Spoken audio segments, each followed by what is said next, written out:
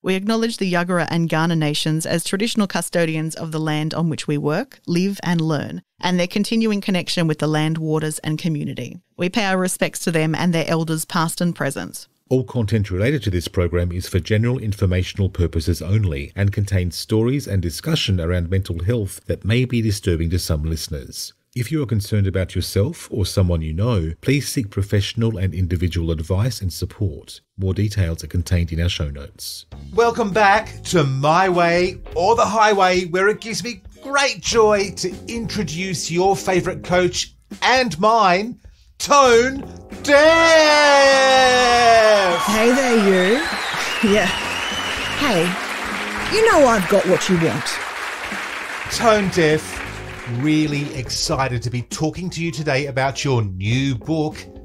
It's all up inside of me. Mm. Why wouldn't you be? This is amazing stuff. You've built a solid reputation for just getting it done through your amazing career, and you're here to show us how. You know, you can do it. And in your book, you say anyone can do it. Yes, they can. What's the secret? Well, you know I can't give it all away here because then no one would buy my book. but seriously, it brings home a cold, hard fact. You don't need anyone. Wow, that sounds pretty bold. What about people who say we should find a good mentor? What is a mentor really going to do for you? I mean, having a good coach like me is one thing, but every time I have looked at myself, I have stepped back and I've gone, hey, it's all up inside of me. We just got to push through and claim that prize. This is amazing. Tell me, how did you get to be an author and of such a great book? You know what? My last employer fired me. No. Told me that I had a bad habit of just making shit up. Well, you showed them. You bet. And today, I want to share a little acronym from my book. As soon as I stumbled across this, it changed my life. Are you ready? Uh huh, uh huh. I think we're ready. Fitame. Fitame. Ah. Fitame. Fitame. Fitame. Yeah. Yeah. Fitame. You can read all about it in my book. It's all up inside of me. Love, love, love, love, love this book. What's Fitame all about? Okay, get ready for it. Mm-hmm. Fake it till you make it. Huh. Fitame. Woo. And when I say fit of me, I'm talking about crafting your style, finding your groove, being your own mentor. You don't need anybody else. Even the great psychologist Carl Jung said we all have access to collective memory. Well, you can't argue with science, People get all knotted up going to networking events. right? You don't need them. Fitame. Fitame. Fitame. All those advisors people waste their time and money on, I've got a handful of those. who needs them? Fitame. Fitame. So, you want people to read your book and take your advice? You bet. Fitame. Isn't that kind of like having a mentor on your bookshelf? It's the only mentor that you'll ever need. My own little box is all I need because everything I need is all up inside of me. Who knew working from your own little box could be so powerful? That is exactly what I told my mentor when I fired her. Fitame! Well, I can see my next team meeting is going to be really unique and empowering. Yep. Fitame! And when they complain because you're freeing them, ask them why they're depending on you. Wow, so true. And everyone here today gets a copy of your book. It is all up inside of me. And now it will be all up inside of you. Fitame! So I kind of felt like Oprah there going, You've got a car, and you've got a car, and you get a car, except it was, You get some bad advice, and you get some bad advice, and you get some bad advice too. Yeah, and I think it's really hard sometimes to know what advice to take when so much of the messages that we hear are marketing and people are just trying to sell their own agenda. But kind of like, aren't we trying to sell our agenda with this podcast? Bringing in the voices that support our argument? This is Reframe of Mind. where we deep dive into discussions about mental health, joined by some of Australia's leading minds to expand our understanding of the world and ourselves in a mostly unbiased way. Because we don't exist in a vacuum, and the way we talk about mental health shouldn't either. We're your hosts, Andy Leroy and Louise Poole. And last time on Reframe of Mind, we chatted to Cienan Muir, founder of Indiginerd, about creating communities, why it's important, and how it's helpful. When we're talking about creating safe spaces, we're talking about creating a platform where you don't have to explain yourself because the same people who are in those spaces have gone through similar journeys to you. And I think that's incredibly important and powerful to not only relax yourself, but to also re-energize yourself cosplay attracted me because it had a lot of people who went through similar journey to myself. And what I mean by that is that a lot of people who did struggle with anxiety, did struggle with some feelings of depression, were, I guess, known a bit more introverted to society. Cosplay was a way for myself to, I guess, test myself and do something out of the ordinary.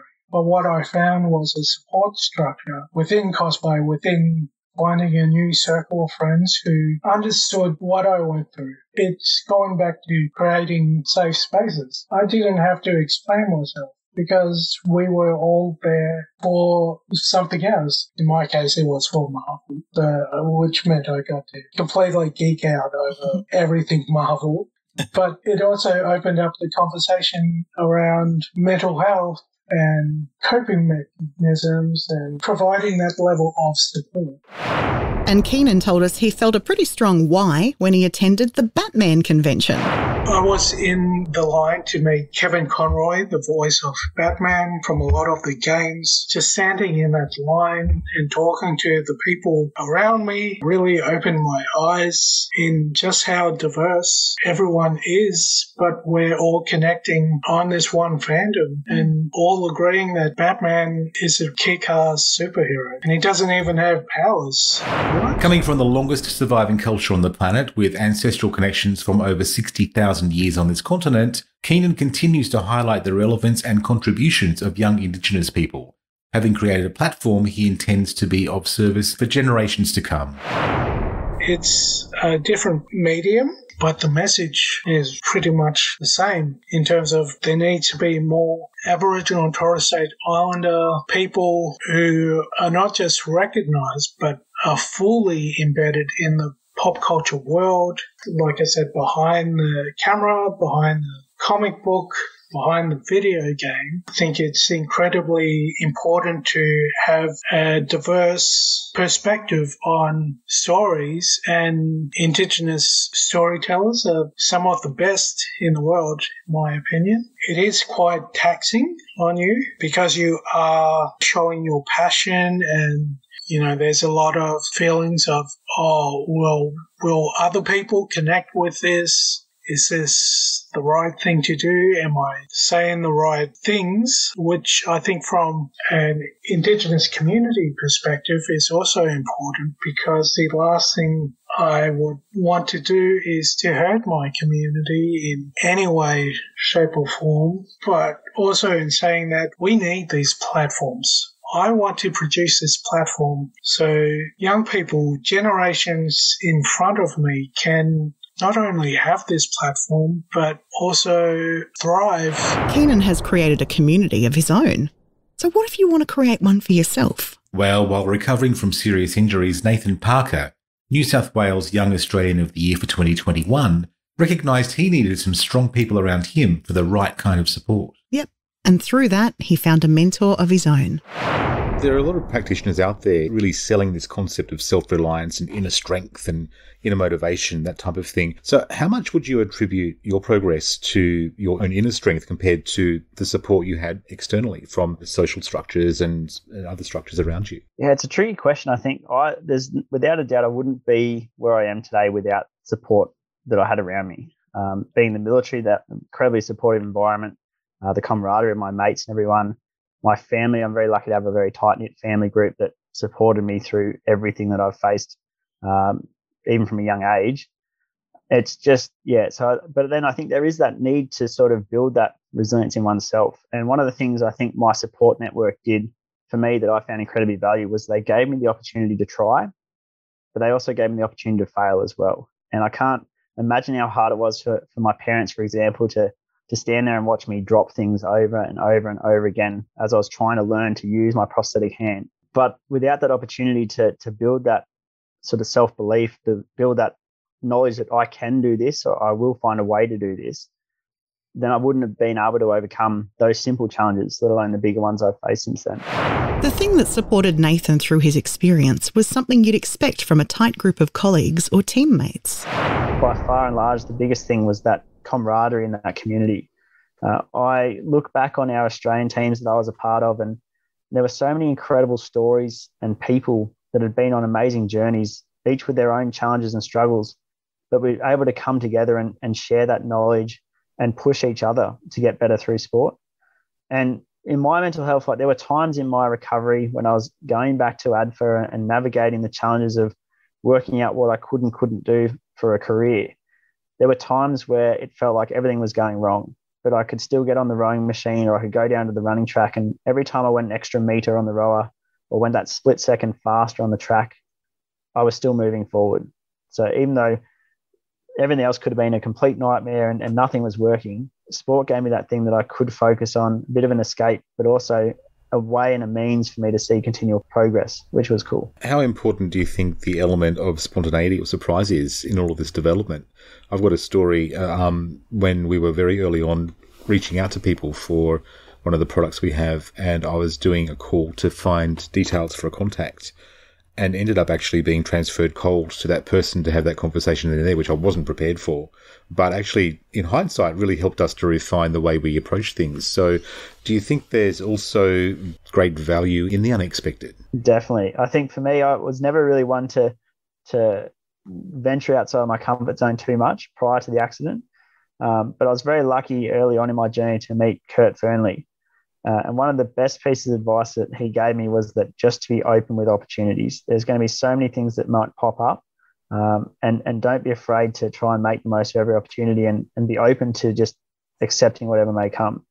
Uh, and that's true in my experience. And he was he was dead right because there's been so many things that have popped up along the way. You know, as they say, one door closes, other doors open, and there's been so many doors that have opened that I never would have thought about. Uh, and I feel that by making the most and, and, taking those opportunities and taking the chance and giving stuff a crack, I've actually learned a lot more and, and had some amazing experiences as a result. You know, I love the wealth of knowledge and inspiration and the way that he perceives things, Nathan Parker. Like to be so young, he, did win 2021 New South Wales Young Australian of the Year, and yet to have mm. such incredible perspective on life and adjusting. I mean, that's something that we are, Andy, much older and still reaching for. Yeah. And, you know, like if we kind of take his wisdom into some of the traumatic events that we've spoken about in previous episodes. I thought we promised no episode. trauma. No trauma this episode. No trauma this episode. But, you know, we did actually embark on a pretty significant change amongst all of that, which was starting a business. Yeah. So one door closes, another one opens. I mean, mm-hmm. it's good wisdom from Nathan Parker. Also, a, a, really good way to sort of segue into that when we started this journey of this podcast, Reframe of Mind, it was also a time where both of us got together and said, you know what, we're going to start a business based around podcasting. And yeah. the door that closed was our previous careers, and the one that opened was being entrepreneurs and business people which was exciting, but also kind of daunting, you know, mm. because there are obviously challenges along the way in starting a business. I mean, starting a business is lonely. Yeah, it's a completely different experience. For us, starting a business around a really new idea, something that hasn't been done much before, if at all. Yeah. And, and also that sense of not having an office of colleagues to go into. what? Our talk around the water cooler every day wasn't enough for you? Mm, well, it was a virtual water cooler. It was a virtual water cooler. And sometimes you want to get you know, Bob or Jane's opinion too. don't they? Don't they run a, own a T Mart? they own a tyre shop. Bob and Jane. They're too busy, too busy putting tyres on people's cars. I mean, look, the thing about starting a business as a partnership as well is we both probably had the capacity to start a business alone. We didn't need a partner. We both had skills. It makes it more fun though to do it together. To, it was certainly a more comfortable idea to look at starting a business together than by ourselves. It definitely felt like a greater motivation to start Welcome Change Media together because it, it felt like, you know, knowing that there was going to be somebody else there along on the journey with me was actually a better prospect than just opening up a computer screen and doing everything by myself. That would have been you know, pretty lonely. It's the friends we make along the way. Mm. I feel like we should um, get out some lighters and hold hands and start swaying. I've got a fire detector in the studio, so I don't know if that's such a great idea, but okay, so it has opened up a lot of opportunities for collaboration, though, um, which is very, very beneficial on all our projects, including this one. And I've been someone that I think for most of my career has been really, really stuck on doing things my way. So it's been an adjustment to collaborate with you, but it does result in better ideas. Yeah, it does. Absolutely. And, you know, we, we have these conversations as well about how sometimes that collaborative process can be a little bit challenging for either one of us. You know, I get the poops if you give me feedback sometimes. and it seems like I give you the poops when I want to kind of put the brakes on something and work on something else. Oh, I don't like it when you tell me no. No. I've noticed. I have noticed. Have you have you ever noticed that I need to le- be a little bit dominating? Mm-hmm. And not not just in the bedroom. but you know, I mean, you're right. It has opened up a lot of opportunities, and even doing reframe of mind, we've met so many wonderful people. And Mm. hello, Suzanne Mercier. Yeah. Loved chatting to us so much that she's got us working on some social media content for her. Yeah, we met her um, for the imposter syndrome episode we did way back, and then uh, formed a connection, and and now we chat to her regularly, which is really cool. Collaboration Love works. I know, amazing. Who'd have thought? Speaking of collaboration, and a bit of a self plug for ourselves, Uh huh. uh, we also just launched a podcast series called WNA Trailblazers in partnership with Women's Network I know. Australia. How good's that? C- can I add? Uh, and you remember where that Yeah. came from? That came from me reaching out to um, Cheryl, who was the CEO of that, and asking her for her opinion on something. And then we formed a relationship from there, And it, we live happily ever after as a result. collaboratively. with more projects in the pipeline, which is exciting. I mean, you know, I know we have the occasional moan. Which kind of moan? Because we did just reference me being dominant.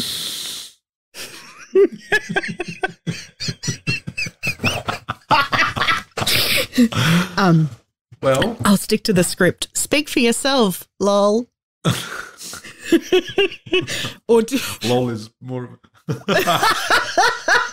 or do you mean we have the occasional moan? We, we do have the Um, I, look. I'm lucky this isn't the professional. Like, imagine if this was the professional pitch. like, come and listen to us for all the expert advice. And um, I'm I'm glad this is in the mental health podcast because this is it's a it's a little blue. It is a bit blue. But getting back to the actual conversation, Mm. When I look at where we are today and with the clients that we've got and the several podcast series on our network, I mean, let's not forget Willow Tree Manor. I mean, certainly not. Uh, or Captain Obvious or Elevating Experts. Hello. If more people had heard Elevating Experts, they would know that voice, but they don't yet. I know. too right you are, Louise, too right. So, Captain Obvious aside, I think we've really embraced collaboration. Um, and we're Mm. doing it a lot in areas now of both the how and the what, which actually feels really creative. Yeah, both of us are building even more confidence, I reckon, to get Mhm. out there and meet other people through business networks, for example. That comes back to Mm. that comfort zone again, doesn't it? Like, I feel like when we were first approaching networking as an idea, you know, go to functions or just go out of our way to try and meet people, even if we were doing it online. I think I, from my perspective, was approaching it as if I'm a representative of Welcome Change Media rather hmm. than mm, Welcome Change Media is just Louise and Andy. That's that's it. It's hmm. just the two of us.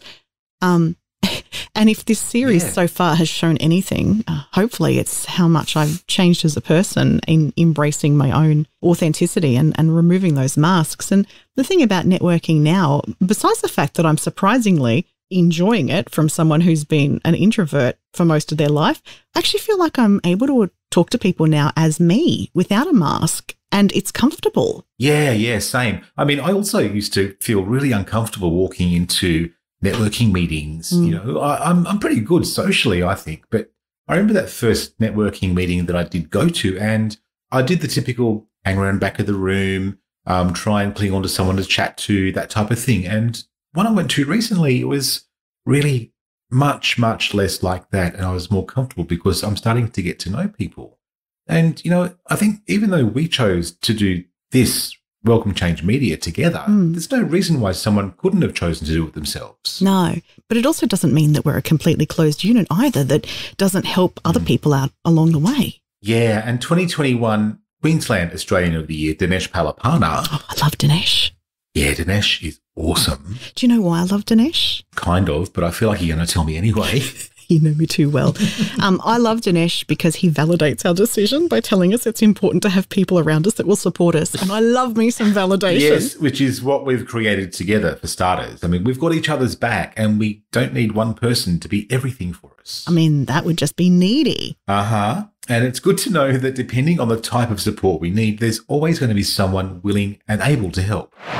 No person is an island. We're all a part of this fabric that makes up humanity. And I think it's important to surround yourself with people that believe in what you believe and that will support you through what you believe. So sometimes, no matter how crazy the idea is, I think that's really made a big difference in my life last year, late last year, I got the opportunity to give something to the National Museum of Australia for the Australian of the Year Awards. And it was an object that's of significance to me. So the object I chose was one of my scrub tops. And I got the people that have played a part in my journey to sign it. So there are signatures from everyone from the fireman that cut me out of the car to the surgeon that operated on me to the educators that took me through medical school to my mom to my friends. So i think um, for me that's really symbolic because we are a product of the people around us and the people around us leave an imprint on our lives forever and they made me who i am. So it's got dr dinesh palapana written on the scrub top. So they were responsible for helping to create that person. So to surround yourself with such people and to acknowledge acknowledge them and celebrate them is really important. Celebrate the people around you. You have to. We, we are who we are because of them.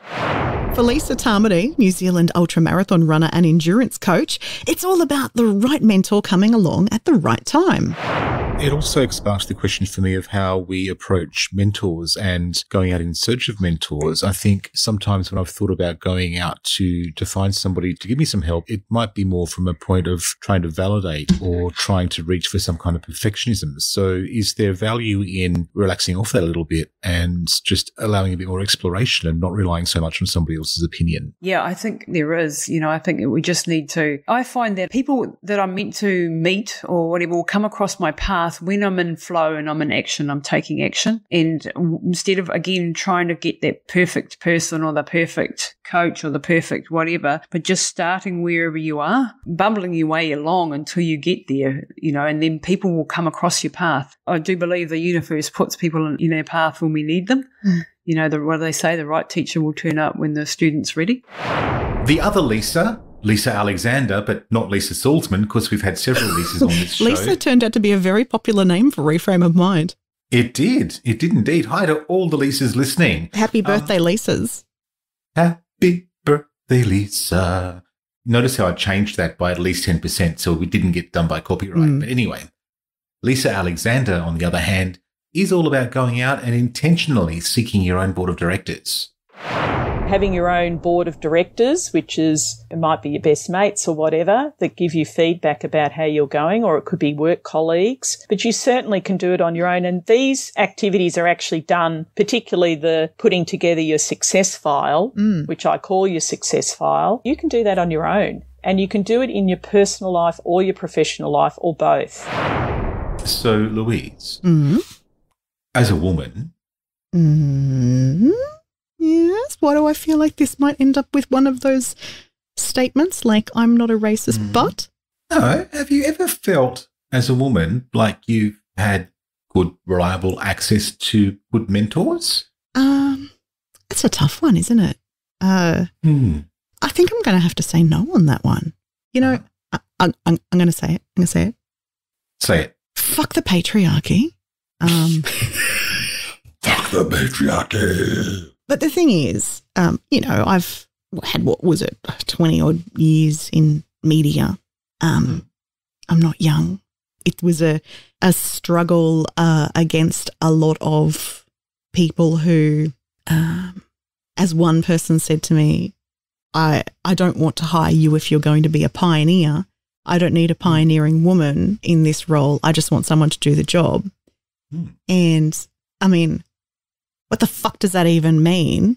Uh, I mean, to even think it, but to fucking say it, come on. yeah. And anyway, that's Please. that's the kind of you know industry I got a career in.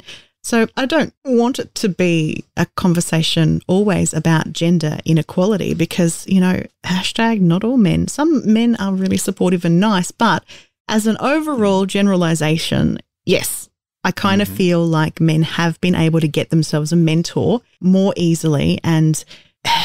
I've never had a female mentor. And when I have had male mentors in my career, they have probably.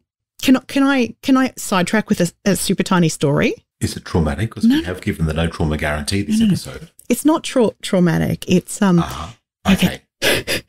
so I was studying. we know what we know what Louise is like when she starts going down the garden path. So I was, I, I was, um, this is many, many, many years ago, and I was studying a commercial radio programming with the Australian Film Television Radio School. It was a online course, and as part of the course, what they do is they organise you mentors because so the mentor basically you partner up with somebody who's further ahead in their career, and they give you guidance and you know have a look over your work and you have a discussion with them. So so this is a pro- like they commit to being a part of the program and they say yes i'm going to take a take on one of these people who also work in the industry and i'm going to you know mentor them as they do. So i get a mentor. My hmm. mentor is a man.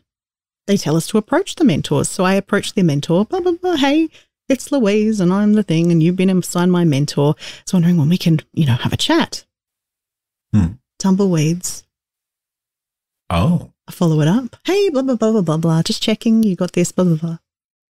Tumbleweeds. Oh. Seems Um, like it might be appropriate to play the crickets. I would have, effect here. I'm like, I could, I don't even know. I've I can put it in post. Put it, add it in post because I don't want to reach her. It's too far.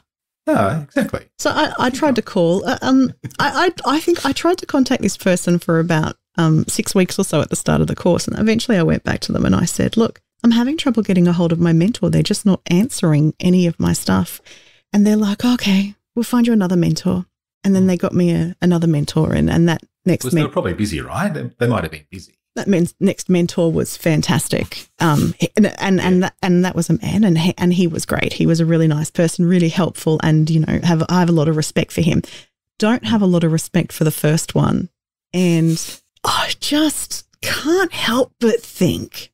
Mm. Given that this person had mentored a lot of other people in the course previously, but they were all men, and based on the things that I had circumstantially heard about this person, that I was Hmm. ghosted because I was a woman.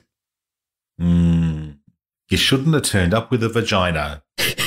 My aside to that is, How dare you? my aside to that is, in, sometimes in some industries, even when you bloody will try and get yourself a mentor, because the only people who have made it to certain echelons of success are men, you can't even get yourself a fucking mentor because they don't want to help assist a woman on the way up. Yeah, you know what? uh, From what I read, and even some of the stories that I'm starting to see and hear through the collaboration that we're doing with Women's Network, I think it'd be pretty safe to say that you're not alone with your experience in finding a mentor. You know, like Yeah, how tough it is. I think, yeah, uh, and Jacinta Carboon pointed that out for us. She's the female economy expert, and she is the one that really started to kind of get our radars clicking on how good an idea it would be to have a mentor. I feel like it's almost more common for men to have mentors and the mentee relationship and for women to do that. But do you think that's we don't share because we feel like we do have to carry everything ourselves and bottle it all up? Yes, yeah, absolutely. Um, you, th- you, think you have to make this work yourself, and and very much so. Like in the you know in the corporate environment, which I spent a large part of my career, you know, mentors were men had mentors, a lot of mentors. It wasn't really you didn't really even think you know you were relevant. You were in a position to have a mentor, but that's sort of that's definitely also changed. But you have to be aware that you need to be vulnerable and as well, and it's okay to be vulnerable. And I'd actually say a lot of men aren't okay with that either. Like they're very, very they they put on the facade that everything's all okay and it's all good, and I've got to make this work and I've got to earn the money, and you know, so that you know that's quite a challenge. So it's a different perspective. Actually, women I found are quite good at sharing um, because women like relationships. They like to do generally as a general perspective, like to do and work in an environment where they have a good, strong relationship with the people around them. So, but it is actually being okay with yourself to be vulnerable. You've got, you can share some things. You don't want to share everything because you want to protect yourself, of course. You, you know, you don't want to be too vulnerable. But, but it is actually, I think women are probably a bit better at that than men in reality. And that's, but, but also still, you have to protect yourself today. So you don't want to, it's finding that balance. And going back to mentors, um, I can say your mentors are good because they will help you with skills and advice and helping you give direction and or you know open up uh, opportunities for you. And generally, quite you can have informal and formal mentors, but the most important people you want to have is sponsors. A sponsor is actually somebody who it's not necessarily a formal arrangement that could, that could be, but a sponsor is somebody who will talk on your behalf when you're not there, who will put you forward for opportunities when you're not there. Somebody who's going, it's like your mum or, you know, your best buddy who's going to talk about you when you're not there. That's, and those sponsorship relationships are much more important from my, from my experience than what mentors are, but they're also harder to make happen because, you know, no one's going to speak on your behalf in a positive way without when you're not there unless they actually feel that way. So they have to see, you know, you have to develop relationships and uh, positive relationships with people who can be your sponsor. Um, I, really like that idea of the distinction between um, the sponsor and the mentor because it really um, speaks to me to a, a, different kind of relating as well. But I'm not even sure that men would be conscious of that, to be honest. I think that that speaks to a, a type, of, a level of relating that, that really is extremely valuable, but is possibly unconsciously done with an edge of competition between men. Yeah, that's yeah, quite, yeah, true actually. That um, it does happen. You know, like men, mentors would, may go on to be your sponsor, but not necessarily so. The challenge is how do you develop that relationship? You know, this is how it still happens. You know, men go and play golf together. They go and have drinks at the pub together, blah. And, you know, there's, there's things most women just can't do that, mainly because they just don't have the time or they've got other commitments. Easier for men to get together than what it is for, um, and also, you know, there's issues around like if you're, you know, male and female having dinner, you know, people have a perception like there's some bias about this, you know, there's something going on between those two. Whereas if you two men having dinner or two women having dinner, it'd be different. So how to actually find a way to develop those relationships, um, between males and females, is a challenge. But there are ways to do it. You just got to, you know, you just have to make it. You have to think. You have to be conscious. Women particularly have to be conscious about how they're going to do that. And there's nothing wrong with that. It's not like, oh, I'm not. I'm just making this, developing this relationship because I want them to be my sponsor. Well, that's fine. It's good. Well, why not? You know, like don't you don't have to feel like, oh, I'm just doing this for myself. Um, because there'll be something positive for them in it as well. But it's you're finding ways to do it, and you just can't necessarily go and play golf with a bunch of blokes to make that happen. So maybe you're an entrepreneur. Or maybe you're just starting out on your own, wondering why anyone would possibly want to help you. Well, as someone who deals with entrepreneurs all the time, Professor Alex Maritz from the La Trobe Business School assures us that people love to help. These people entrepreneurs by nature give back to society. So they love their mentorship. I was on a tangent earlier. I was speaking about ageism and discrimination and saying about discrimination in the workforce. I'm not really one for that because I believe my roots and my background just tell me fight for who you are and what you are. But from a perspective of conformist of being, let's just say in the total economy and that, this thing with discrimination and so on, it's very surprising that when we do the studies on discrimination of mature age people in the workforce, and there's a big tick, yes, It's predominant. It's very big in the workforce. We do not see that prevalence in entrepreneurship. So in other words, younger entrepreneurs like mixing with older entrepreneurs because they know they can get information from them. They know they can get a wealth of experience from them. They're savvy enough to realize they see that opportunity. So, in considering the right mentor for you, it's worth having a think about the type of people whose achievements and even sense of style you'd like to emulate. And we had a pretty good conversation about all of this with mindfulness coach Annie Harvey. I look at what healthy relationships are. So, um, Jim Rohn once famously said, we're, we're the average of the five people we spend most time with. So if you, if you just count that on your hand and you two might have to include your cats in that as well. yeah, probably. There's a bit of laziness with. going on there. There's a lot of distraction going on in my house. um, and then you're, you know, you're the average of those five people. So if you wanted to in, if you wanted to start looking after yourself or, I don't know, learning a new skill, practicing meditation or learning how to swim or whatever it is, or going on a particular diet, you, you don't, a lot, you don't Marie Kondo those people and ditch them out of your lives, mm. but you start bringing people into your circle of influence that can, that can raise that average because we all know those people that don't encourage us to do that necessarily. And I think when we're sick or we're not feeling great, we don't necessarily hang around with the right people. What else would you say is in your daily toolkit? I think I've haven't I not overshared already? not as much as Andy at the grocery store, apparently. no, that's right. I get my twenty dollars um, worth. Don't you worry. yeah, exactly.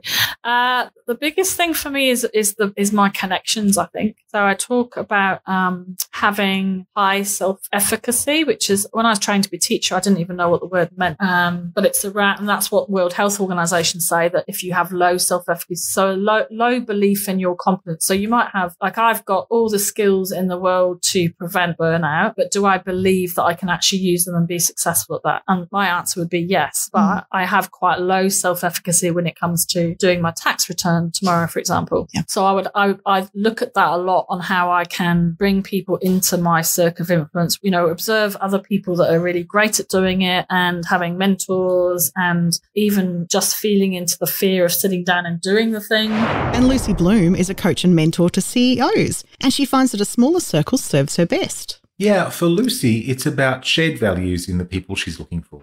It's nice to be nice, but it's better to be bold, which is actually a headline written by Jane Caro. And I truly live by that. It's it's nice to be nice, but yeah, there's some fakery under that. If you're nice to everyone all the time, it's better to be bold and direct. Um, I find myself seeking out, uh, and this may be a post 40 thing too. I've got a much smaller circle of close friends and then, um, and then, and then I don't bother, but I'm not, I'm not unkind. I just spend my I spend my juicy time with the with the really juicy people. And you know, they say you're a you're the um, the sum of the five people you spend the most time with. Um, I guess I seek out the genuine people and the weirdos like me. so, so nice is nice, but it's better to be bold and brave. So I've noticed that all the guests that we've had so far in this episode, Andy, and I'm not shitting on your ability to put together a script and a rundown, um, because you we are t- we That's are talking about mentor. We are talking about mentorship or I don't know if you've used the yeah. term yet already, but not gender specific, themtorship. I haven't used that, but that is a good term. so, and a mentor is a mentor is a themtor. So when we're talking about themtorship, a lot these examples have all been in a business context, but it doesn't have to be mm. only in a business context that you have a, a themtor in your life. No, no, no, no. I mean, you know, aside from in the business context, you can have mentors for all sorts of things. Themtors? It can be themtors. Sorry, I'm being gender inappropriate. But we could really, I mean, and we do, we seek mentors all the time. And so whether you're starting out your own business or whether you're in a career in corporate, for example, or even if you are a creative person. Oh, good for, I'm glad you gave the third example because I thought you were just going to give me two yeah. examples of careers. No. or even if you're someone who's creative, an artist, mm. and want to actually explore different avenues of your artistry, mentors are a great resource to have. Another way that we could look at the themtorness of it all um, outside of the business context is in when you form a partnership with people for your own self development. And Professor Leeanne Carey. She's the founding head of the Neuro Rehabilitation and Recovery Research Group Stroke Division at the Florey Institute of Neuroscience. And she talked to us about partnerships of a different kind from the perspective of a therapeutic relationship. How important is the concept of being able to encourage yourself through all of this? I can imagine, you know, there must be quite a few barriers for someone who's experiencing this type of um, limitation. Mm. How, how do we go about helping them to encourage themselves? I think that's a really important part. And I think there's also encourage themselves, but there's also a partnership that's formed in, in this training. And a lot of people are really challenged by a sensory loss and some of the cognitive and emotional challenges um, that go with it. So perhaps if we think about where it starts, it's actually hard to imagine what it might be like if you can't feel down one side of your body, you can't feel if an object's in your hand, um, you can't feel where your arm is, if it's behind your back or able to reach into your pocket, etc. So with that, people can often refer, you know, it can be quite distressing and yet it's a hidden problem uh, and they lose that sort of connection. So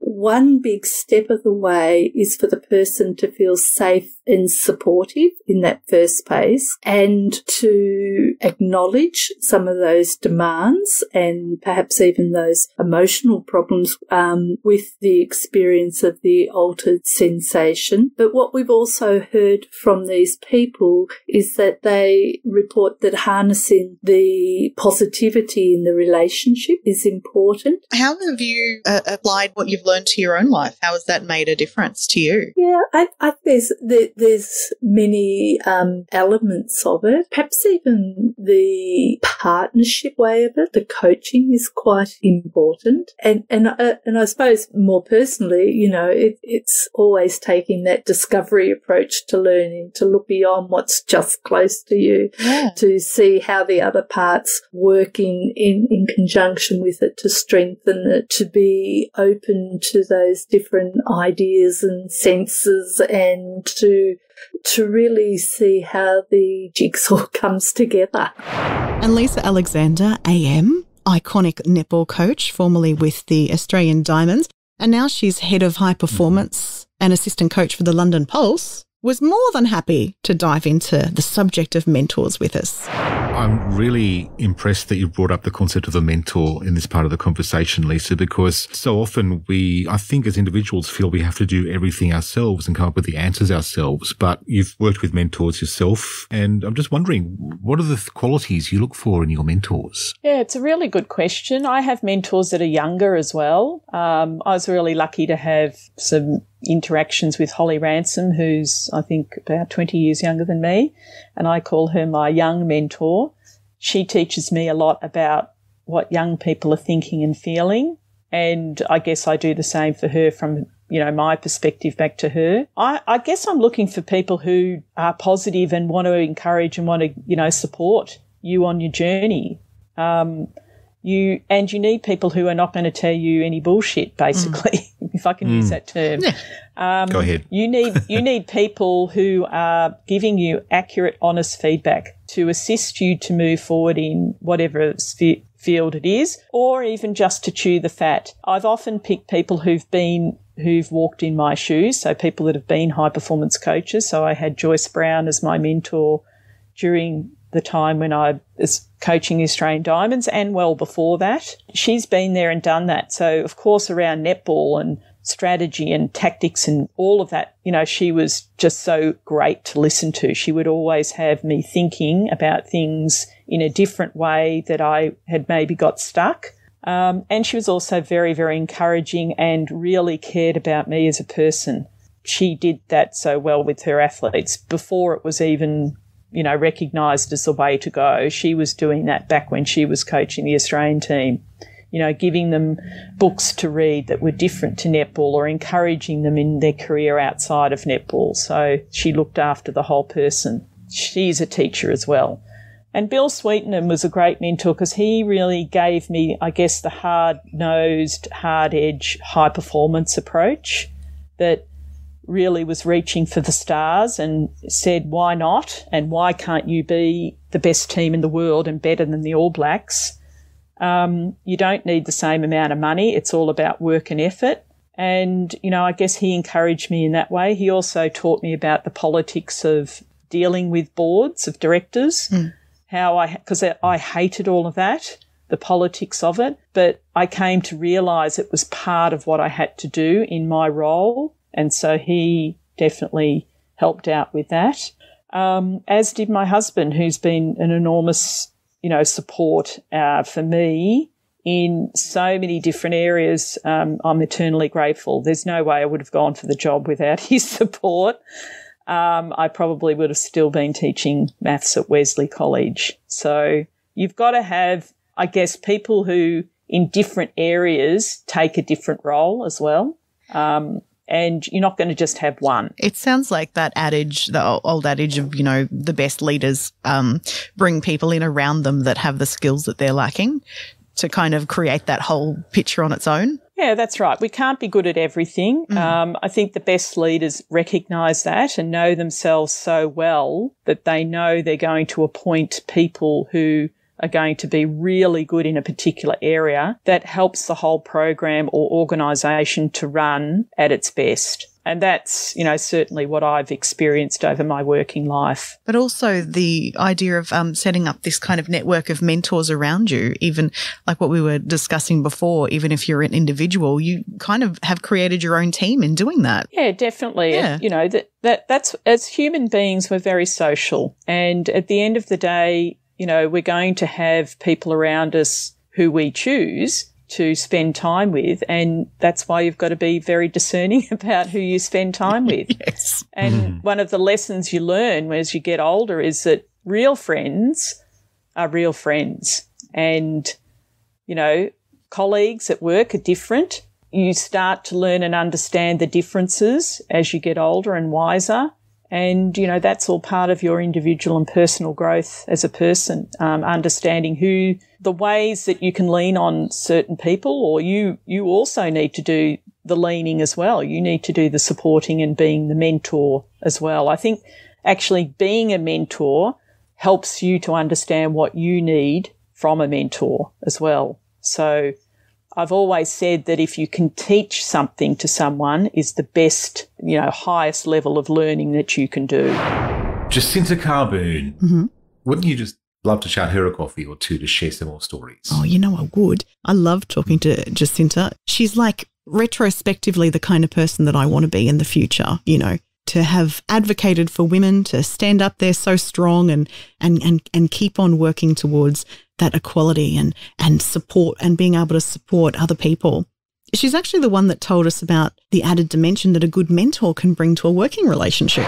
This can be a positive relationship. So, you know, hmm. like, and look, if you don't ask, you don't get. But, you know, like you do, you have to put yourself out and you have to do it. Like they don't, someone doesn't know that you want this if you don't let them know. You know, they're, they're not going to, and most people are obviously thinking about themselves. Oh, we all are. I mean, that's how we exist. It's just life. But you, you know, if you actually can find a way to have that chat and it's, it's about what's in it for them as well. So, you know, like it's something you might be able to do for them that is something that's going to be interest. Definitely, actually, I would encourage you to do that. Like think about if there's somebody you think who could be a sponsor in your life, personally or for your career or whatever, think about what's in it for them. For me being involved and, you know, having this, what, what can I do that's actually going to be something positive? Give them something and you'll get something back. And it's, yeah, it's like that. It is that self doubt. But like, you know, so I've been to, in my corporate career, to go, sometimes I'd have roles where I'd be the only person from the organizer for Telstra at this particular, for example, I was involved in the hospitality, travel and tourism industry looking at what was going on in that industry. So I would be the only person from Telstra there. And I'd go to these events and I'd be thinking, oh, this is like, I don't know anybody here. This is not standing around by myself. It's, you know, really uncomfortable. And I would just push myself through it. I would just say, just stay here, get yourself a drink, stand here, someone, you know, talk to somebody, someone will come and talk to you. And I would just force myself to do it. And then by the end of it, I would be there talking to everybody. And, you know, the, the, the and they'd want to know why I, why I was from Telstra and why I was there and why I was interested. And that, that was engaging for them. And, you know, I'd end up going, getting invited to some amazing meetings and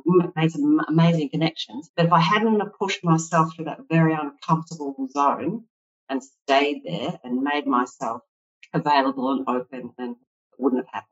Pushing yourself through it. Um, and it's not easy, um, but you, the, the benefits are enormous you're speaking to my soul all the times I've been to a, a, a, networking event and I've stood there going, I don't know how to make small talk and yeah. I don't know what to say. And uh, yeah. speaking to my soul. So push yourself, go through it and push yourself. You will be amazed. I have done this so many, like so much in my career. Just remember pretty well everyone else in the room is feeling much the same, even though they might be having a conversation with someone. Don't run out the door. Just hang in there.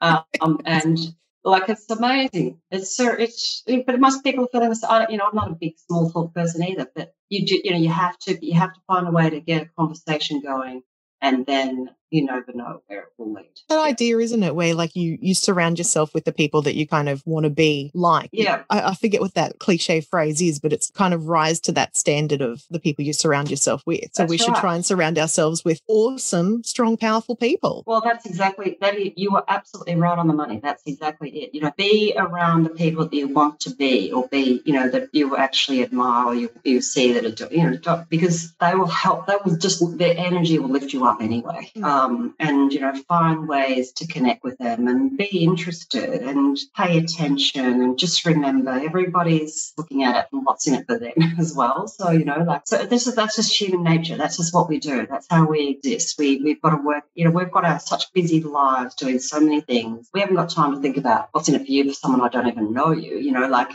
we've got to think about what can I do that is actually going to be useful for them. That's actually going to then also be relevant for me and that's okay. It, it seems like there um, there's a bit of a shift in, in thinking that needs to occur for someone who might not necessarily see their self worth to going into a conversation saying, actually, this is something I can offer you in return. What would be your best piece of advice for someone who's in that point where they just cannot see outside of that square? You have to stand back and look at what's going on. So, uh, as an example, when I was at NAB, I was really passionate around the women's business. I could see so many opportunities that I just knew that the senior leadership team weren't going to listen to what I had to say unless I put it in a position that was relevant to where their thinking was at. Finding a link in some way that's relevant.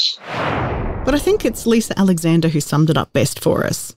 Yes. Perfectionists, get your finest pens ready and take note old adage of the best leaders bring people in around them that have the skills that they're lacking to kind of create that whole picture on its own. Yeah, that's right. We can't be good at everything. Mm. Um, I think the best leaders recognize that and know themselves so well that they know they're going to appoint people who are going to be really good in a particular area that helps the whole program or organization to run at its best. And that's, you know, certainly what I've experienced over my working life can't be good at everything, as much as we try, though.